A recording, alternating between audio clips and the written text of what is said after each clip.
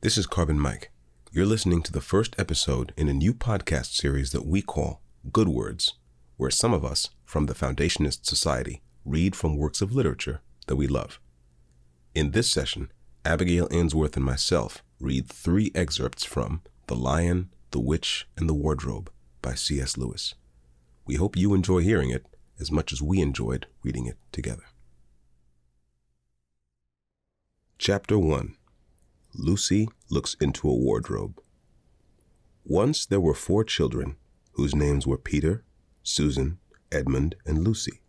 This story is about something that happened to them when they were sent away from London during the war because of the air raids. They were sent to the house of an old professor who lived in the heart of the country, 10 miles from the nearest railway station and 2 miles from the nearest post office. He had no wife, and he lived in a very large house with a housekeeper called Mrs. Macready and three servants. Their names were Ivy, Margaret, and Betty, but they do not come into the story much. He himself was a very old man with shaggy white hair which grew over most of his face as well as on his head, and they liked him almost at once. But on the first evening when he came out to meet them at the front door, he was so odd looking that Lucy, who was the youngest, was a little afraid of him, and Edmund, who was the next youngest, wanted to laugh and had to keep on pretending he was blowing his nose to hide it. As soon as they had said good night to the professor and gone upstairs on the first night, the boys came into the girls' room and they all talked it over. We've fallen on our feet and no mistake, said Peter. This is going to be perfectly splendid. That old chap will let us do anything we like. I think he's an old dear, said Susan. Oh, come off it, said Edmund, who was tired and pretending not to be tired, which always made him bad tempered. Don't go on talking like that. Like what? said Susan. And anyway, it's time you were in bed. Trying to talk like mother, said Edmund.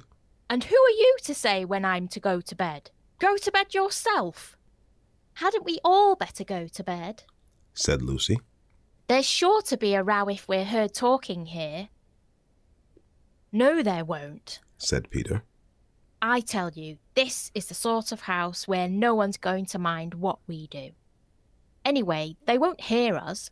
It's about ten minutes' walk from here down to that dining room, and any amount of stairs and passages in between.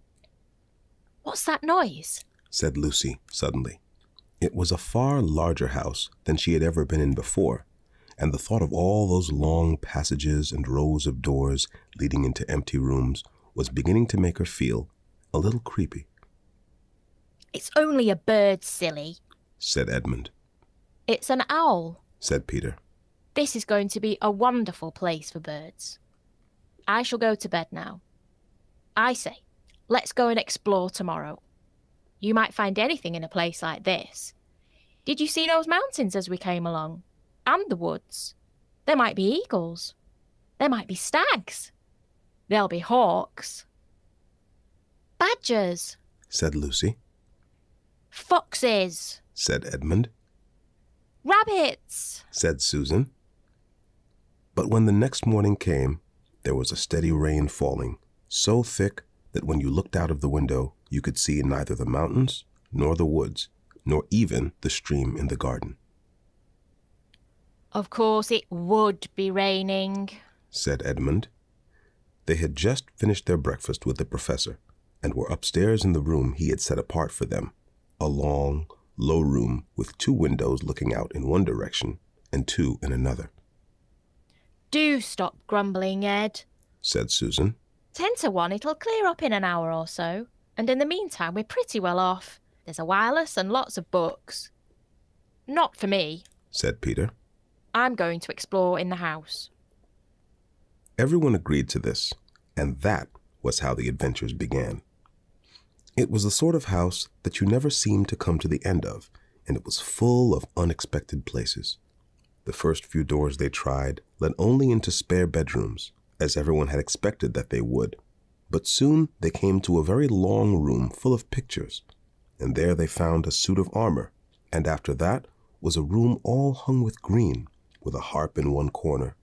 And then came three steps down and five steps up, and then a kind of little upstairs hall and a door that led out onto a balcony, and then a whole series of rooms that led into each other and were lined with books, most of them very old books, and some bigger than a Bible in a church. And shortly after that, it looked into a room that was quite empty, except for one big wardrobe, the sort that has a looking glass in the door. There was nothing else in the room at all, except a dead blue bottle on the windowsill. Nothing there, said Peter, and they all trooped out again, all except Lucy. She stayed behind because she thought it would be worthwhile trying the door of the wardrobe, even though she felt almost sure that it would be locked. To her surprise, it opened quite easily, and two mothballs dropped out. Looking into the inside, she saw several coats hanging up, mostly long fur coats. There was nothing Lucy liked so much as the smell and feel of fur. She immediately stepped into the wardrobe and got in among the coats and rubbed her face against them, leaving the door open, of course, because she knew that it is very foolish to shut oneself into any wardrobe. Soon she went further in and found that there was a second row of coats hanging up behind the first one. It was almost quite dark in there, and she kept her arms stretched out in front of her so as not to bump her face into the back of the wardrobe.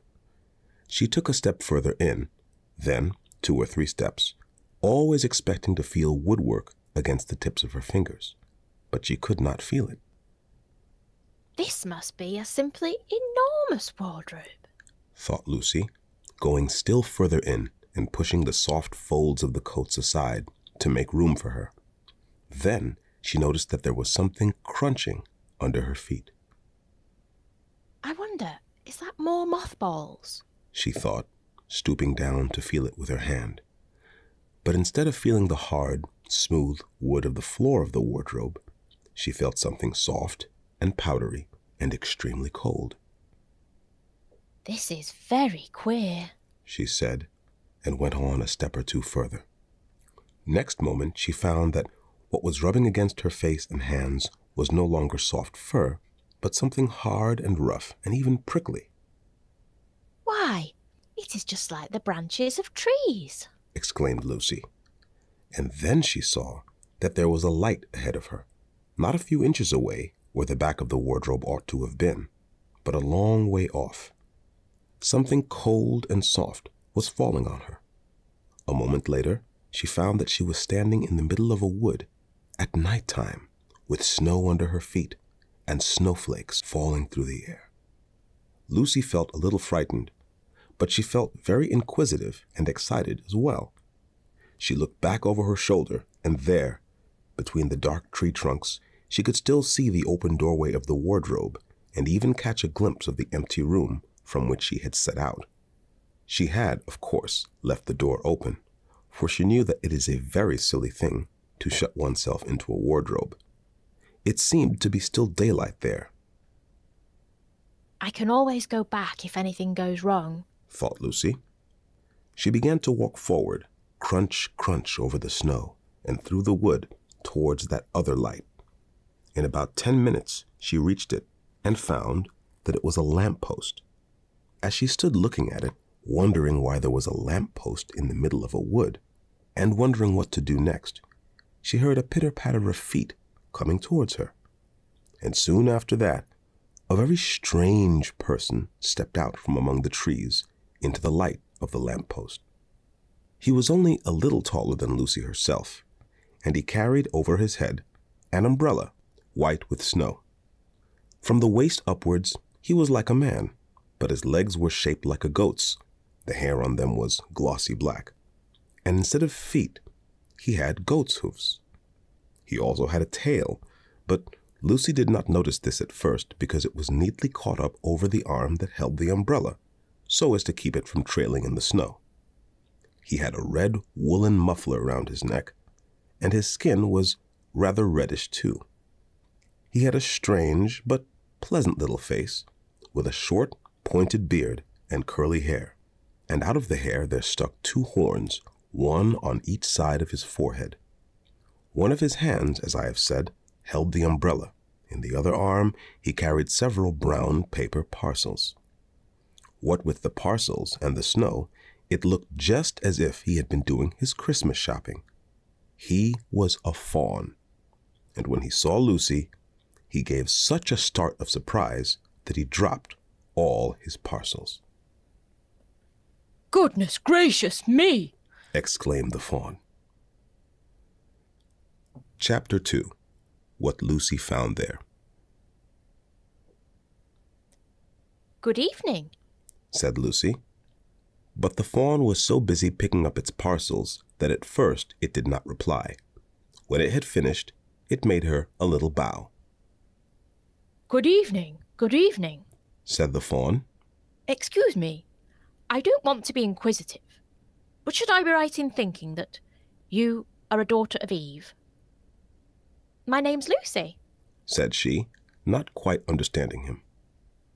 But you are, forgive me, you are what they call a girl, said the faun. Of course I'm a girl, said Lucy. You are, in fact, human.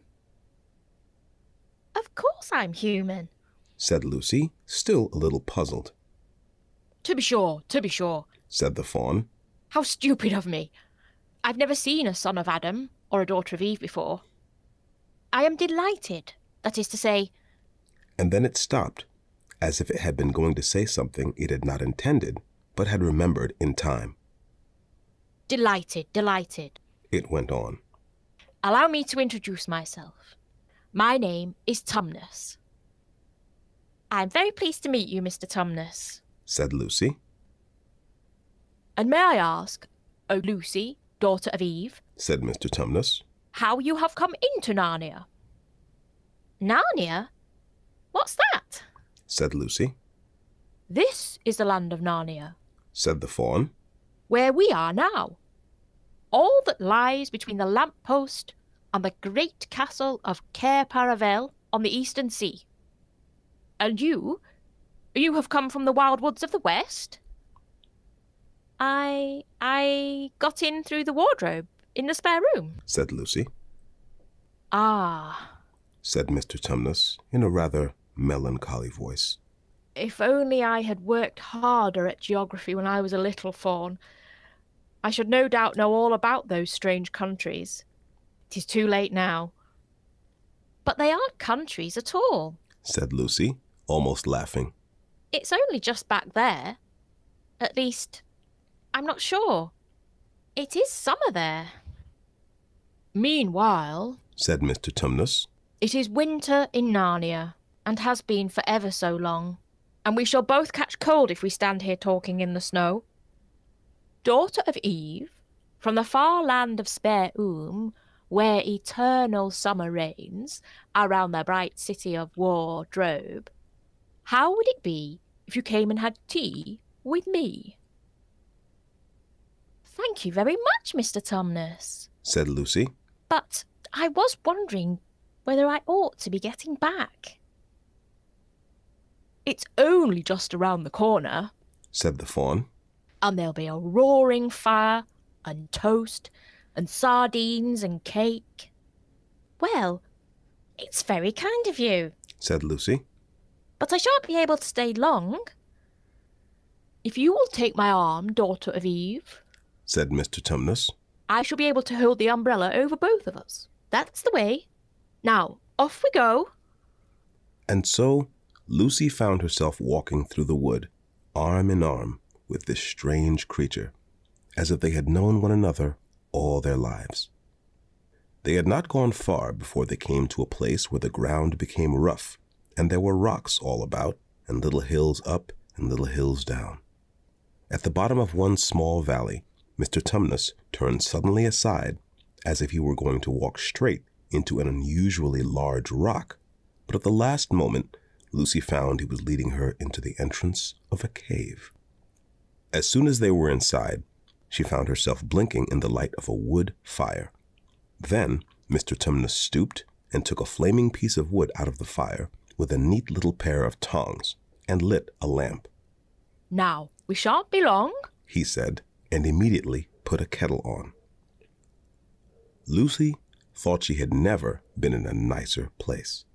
It was a little dry, clean cave of reddish stone with a carpet on the floor and two little chairs, One for me and one for a friend. said Mr. Tumnus, and a table and a dresser and a mantelpiece over the fire, and above that a picture of an old faun with a gray beard.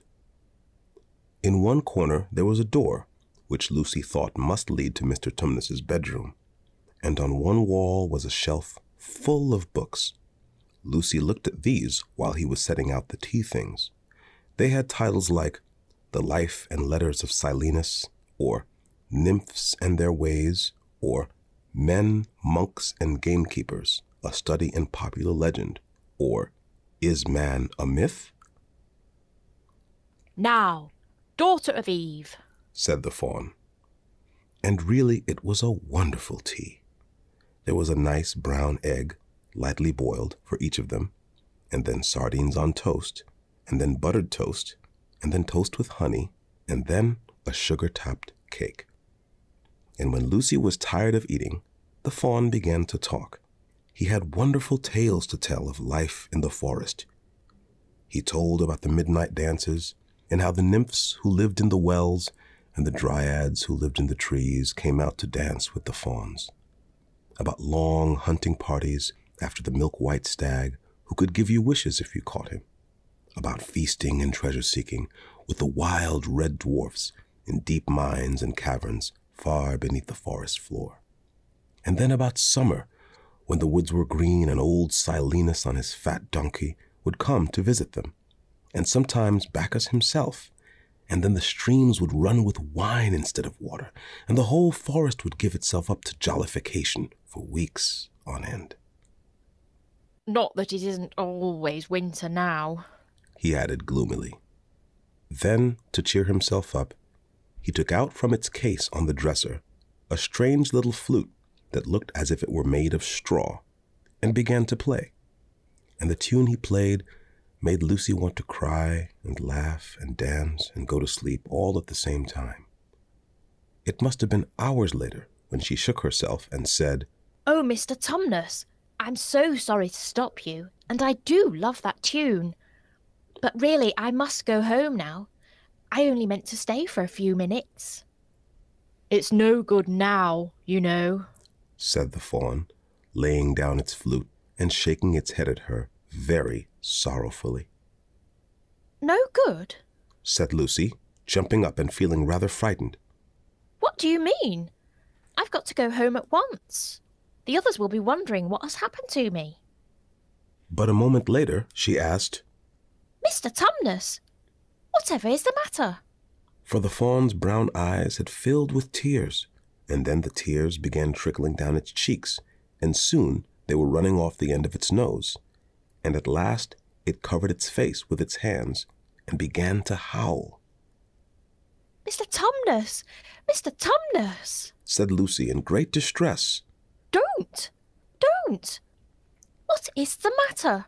Aren't you well? Dear Mr. Tumnus, do tell me what is wrong. But the faun continued sobbing as if his heart would break. And even when Lucy went over and put her arms round him and lent him her handkerchief, he did not stop. He merely took the handkerchief and kept on using it, wringing it out with both hands whenever it got too wet to be any more use, so that presently Lucy was standing in a damp patch. Mr. Tumnus, Bawled Lucy in his ear, shaking him. do stop. Stop it at once. You ought to be ashamed of yourself. A great big faun like you. What on earth are you crying about? Oh, oh, oh. Sobbed Mr. Tumnus. I'm crying because I'm such a bad faun. I don't think you're a bad faun at all. Said Lucy. I think you are a very good faun. You are the nicest faun I've ever met. Oh, oh, you wouldn't say that if you knew. Replied Mr. Tumnus between his sobs. No, I'm a bad faun. I don't suppose there ever was a worse faun since the beginning of the world. But what have you done? Asked Lucy. My old father now, Said Mr. Tumnus. that's his picture over the mantelpiece. He would never have done a thing like this. A thing like what? said Lucy. Like what I've done. said the faun. Taken service under the White Witch. That's what I am. I'm in the pay of the White Witch. The White Witch? Who is she? Why, it is she that has got all Narnia under her thumb. It's she that makes it always winter. Always winter and never Christmas. Think of that! How awful! said Lucy. But what does she pay you for? That's the worst of it. said Mr. Tumnus with a deep groan. I'm a kidnapper for her. That's what I am. Look at me, daughter of Eve. Would you believe that I'm the sort of faun to meet a poor innocent child in the wood, one that had never done me any harm, and pretend to be friendly with it, and invite it home to my cave, all for the sake of lulling it asleep, and then handing it over to the White Witch? No, said Lucy. I'm sure you wouldn't do anything of the sort. But I have. said the faun. Well, said Lucy, rather slowly, for she wanted to be truthful and yet not be too hard on him. Well, that was pretty bad. But you're so sorry for it. I'm sure you will never do it again. Daughter of Eve, don't you understand? said the faun. It isn't something I have done. I'm doing it now, this very moment. What do you mean? cried Lucy, turning very white. You are the child. said Tumnus. I had orders from the White Witch that if I ever saw a son of Adam or a daughter of Eve in the wood, I was to catch them and hand them over to her. And you were the first I've ever met. And I pretended to be your friend and asked you to tea. And all the time I've been meaning to wait till you were asleep and then go and tell her. Oh, but you won't, Mr. Tumnus. said Lucy. You won't, will you? Indeed, indeed, you really mustn't. And if I don't, said he, beginning to cry again.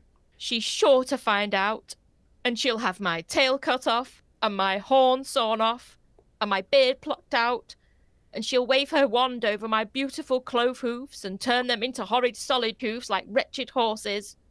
And if she is extra and specially angry, she'll turn me into stone, and I shall be only a statue of a faun in her horrible house until the four thrones at Cair Paravel are filled, and goodness knows when that will happen, or whether it will even happen at all. I'm very sorry, Mr. Tumnus, said Lucy. but please let me go home. Of course I will. said the faun. Of course, I've got to. I see that now. I hadn't known what humans were like before I met you. Of course, I can't give you up to the witch, not now that I know you. But we must be off at once. I'll see you back to the lamp post. I suppose you can find your own way from there back to Spare Oom and Wardrobe. I'm sure I can. said Lucy. We must go as quietly as we can. said Mr. Tumnus. The whole wood is full of her spies. Even some of the trees are on her side. They both got up and left the tea things on the table, and Mr. Tumnus once more put up his umbrella and gave Lucy his arm, and they went out into the snow. The journey back was not at all like the journey to the faun's cave. They stole along as quickly as they could, without speaking a word, and Mr. Tumnus kept to the darkest places. Lucy was relieved when they reached the lamp post again, Do you know your way from here, daughter of Eve? Said Mr. Tumnus. Lucy looked very hard between the trees and could just see in the distance a patch of light that looked like daylight. Yes, She said, I can see the wardrobe door. Then be off home as quick as you can. said the faun. And can, can you ever forgive me for what I meant to do? Why, of course I can. said Lucy, shaking him heartily by the hand. And I do hope you won't get into dreadful trouble on my account. Farewell, daughter of Eve, said he. Perhaps I may keep the handkerchief. Rather, said Lucy, and then ran towards the far off patch of daylight as quickly as her legs would carry her. And presently, instead of rough branches brushing past her, she felt coats, and instead of crunching snow under her feet, she felt wooden boards, and all at once she found herself jumping out of the wardrobe into the same empty room from which the whole adventure had started. She shut the wardrobe door tightly behind her and looked around, panting for breath. It was still raining, and she could hear the voices of the others in the passage. I'm here! She shouted. I'm here! I've come back! I'm all right! In the third and final excerpt, we skip ahead to chapter 10 of The Lion, the Witch, and the Wardrobe. The events in this section take place after Lucy's siblings have also found their way into the land of Narnia and are being guided in their quest by a family of beavers, and the dark magic that has kept the whole world in the grip of a cruel and fearsome winter has finally begun to lose its power. From chapter 10 The Spell Begins to Break. The snow had stopped and the moon had come out when they began their journey. They all went in single file. First, Mr. Beaver, then Lucy, then Peter, then Susan, and Mrs. Beaver last of all. Mr. Beaver led them across the dam and on to the right bank of the river, and then along a very rough sort of path among the trees right down by the river bank.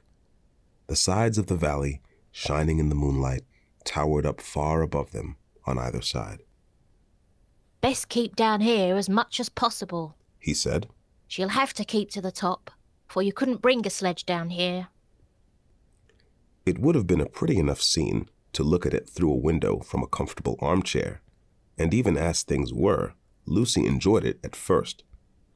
But as they went on walking and walking and walking, and as the sack she was carrying felt heavier and heavier, she began to wonder how she was going to keep up at all and she stopped looking at the dazzling brightness of the frozen river, with all its waterfalls of ice, and at the white masses of the treetops, and the great glaring moon, and the countless stars, and could only watch the little short legs of Mr. Beaver going pad, pad, pad, pad through the snow in front of her, as if they were never going to stop.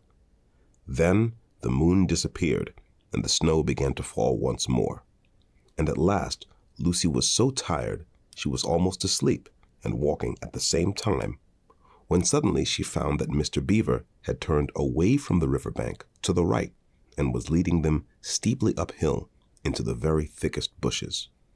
And then, as she came fully awake, she found that Mr. Beaver was just vanishing into a little hole in the bank, which had been almost hidden under the bushes until you were quite on top of it. In fact, by the time she realized what was happening, only his short, flat tail was showing. Lucy immediately stooped down and crawled in after him. Then she heard noises of scrambling and puffing and panting behind her, and in a moment, all five of them were inside. Wherever is this? said Peter's voice, sounding tired and pale in the darkness. I hope you know what I mean by a voice sounding pale. It's an old hiding place for beavers in bad times, said Mr. Beaver. And a great secret. It's not much of a place, but we must get a few hours' sleep. If you hadn't all been in such a plaguey fuss when we were starting, I'd have brought some pillows, said Mrs. Beaver. It wasn't nearly such a nice cave as Mr. Tumnus's, Lucy thought. Just a hole in the ground, but dry and earthy. It was very small so that when they all lay down, they were all a bundle of clothes together. And what with that and being warmed up by their long walk, they were really rather snug. If only the floor of the cave had been a little smoother. Then Mrs. Beaver handed round in the dark a little flask out of which everyone drank something. It made one cough and splutter a little and stung the throat, but it also made you feel deliciously warm after you'd swallowed. And everyone went straight to sleep. It seemed to Lucy only the next minute, though really it was hours and hours later, when she woke up feeling a little cold and dreadfully stiff and thinking how she would like a hot bath. Then she felt a set of long whiskers tickling her cheek and saw the cold daylight coming in through the mouth of the cave. But immediately after that, she was very wide awake indeed, and so was everyone else. In fact, they were all sitting up with their mouths and eyes wide open, listening to a sound which was the very sound they'd all been thinking of, and sometimes imagining they heard during their walk last night. It was a sound of jingling bells. Mr. Beaver was out of the cave like a flash the moment he heard it. Perhaps you think, as Lucy thought for a moment, that this was a very silly thing to do? But it was really a very sensible one. He knew he could scramble to the top of the bank among bushes and brambles without being seen, and he wanted above all things to see which way the witch's sledge went. The others all sat in the cave, waiting and wondering. They waited nearly five minutes. Then they heard something that frightened them very much. They heard voices. Oh, thought Lucy. He's been seen. She's caught him. Great was their surprise when, a little later, they heard Mr. Beaver's voice calling to them from just outside the cave. It's all right, he was shouting. Come out, Mrs. Beaver. Come out, sons and daughters of Adam. It's all right. It isn't her. This was bad grammar, of course, but that is how beavers talk when they are excited. I mean, in Narnia. In our world, they usually don't talk at all. So, Mrs. Beaver and the children came bundling out of the cave, all blinking in the daylight, with earth all over them, and looking very frowsty and unbrushed and uncombed, and with the sleep still in their eyes. Come on, cried Mr. Beaver, who was almost dancing with delight. Come and see. This is a nasty knock for the witch. It looks as if her power is already crumbling. What do you mean, Mr. Beaver? panted Peter as they all scrambled up the steep bank of the valley together. Didn't I tell you? answered Mr. Beaver. That she'd made it always winter and never Christmas? Didn't I tell you? Well, just come and see. And then they were all at the top and did see. It was a sledge, and it was reindeer with bells on their harnesses. But they were far bigger than the witch's reindeer, and they were not white, but brown. And on the sledge sat a person whom everyone knew the moment they set eyes on him. He was a huge man in a bright red robe, bright as holly berries, with a hood that had fur inside it, and a great white beard that fell like a foamy waterfall over his chest. Everyone knew him because, though you see people of his sort only in Narnia, you see pictures of them and hear them talked about even in our world, the world on this side of the wardrobe door. But when you really see them in Narnia, it is rather different. Some of the pictures of Father Christmas in our world make him look only funny and jolly. But now that the children actually stood looking at him, they didn't find it quite like that. He was so big and so glad and so real that they all became quite still. They felt very glad, but also solemn. I've come at last, said he. She has kept me out for a long time, but I have got in at last. Aslan is on the move. The witch's magic is weakening. And Lucy felt running through her that deep shiver of gladness which you only get if you are being solemn and still. And now, said Father Christmas, for your presents. There is a new and better sewing machine for you, Mrs. Beaver. I will drop it in your house as I pass. If you please, sir, said Mrs. Beaver, making a curtsy. It's locked up. Locks and bolts make no difference to me, said Father Christmas. And as for you, Mr. Beaver, When you get home, you will find your dam finished and mended, and all the leaks stopped, and a new sluice gate fitted. Mr. Beaver was so pleased that he opened his mouth very wide and then found he couldn't say anything at all. Peter, Adam's son, said Father Christmas. Here, sir, said Peter. These are your presents, was the answer, and they are tools, not toys. The time to use them is perhaps near at hand. Bear them well. With these words, he handed to Peter a shield and a sword. The shield was the color of silver, and across it there ramped a red lion, as bright as a ripe strawberry at the moment when you pick it. The hilt of the sword was of gold, and it had a sheath and a sword belt and everything it needed, and it was just the right size and weight for Peter to use. Peter was silent and solemn as he received these gifts, for he felt they were a very serious kind of present. Susan, Eve's daughter, said Father Christmas, these are for you. And he handed her a bow and a quiver full of arrows and a little ivory horn. You must use the bow only in great need, he said, for I do not mean you to fight in the battle. It does not easily miss. And when you put this horn to your lips and blow it, then, wherever you are, I think help of some kind will come to you. Last of all, he said, Lucy, Eve's daughter. And Lucy came forward. He gave her a little bottle of what looked like glass, but people said afterwards that it was made of diamond, and a small dagger. In this bottle, he said, there is a cordial made of the juice of one of the fire flowers that grow in the mountains of the sun. If you or any of your friends is hurt, a few drops of this will restore them. And the dagger is to defend yourself at great need, for you also are not to be in the battle. Why, sir? said Lucy. I think, I don't know, but I think I could be brave enough. That is not the point, he said, but battles are ugly when women fight. And now, here he suddenly looked less grave. Here is something for the moment for you all. And he brought out, I suppose from the big bag at his back, but nobody quite saw him do it, a large tray containing five cups and saucers, a bowl of lump sugar, a jug of cream, and a great big teapot, all sizzling and piping hot.